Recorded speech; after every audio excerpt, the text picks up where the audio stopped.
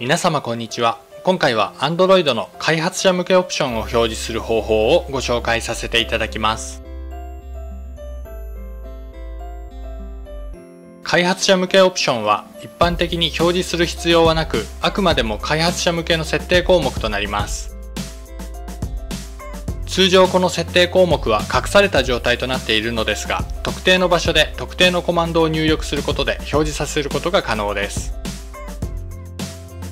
開発者向けオプションでは Android とデスクトップを有線で接続して USB デバッグを行う場合や APK ファイルからアプリをインストールする場合などの許可を行う設定項目が内包されているので表示が必要となる場合があります。必ずしも表示させる必要はありませんが覚えておいて損はないでしょう。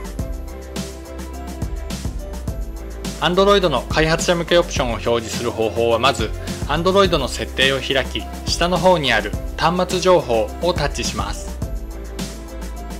端末情報ページの下の方にあるビルド番号を7回タッチします。するとこれでデベロッパーになりましたというコメントが表示され開発者向けオプションの項目が表示されるようになります。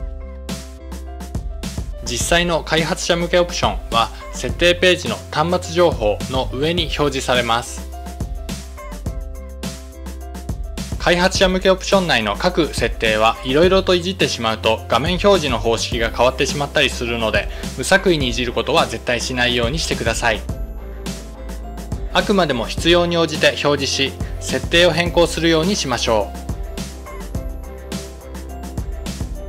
以上 Android の開発者向けオプションを表示する方法のご紹介でした。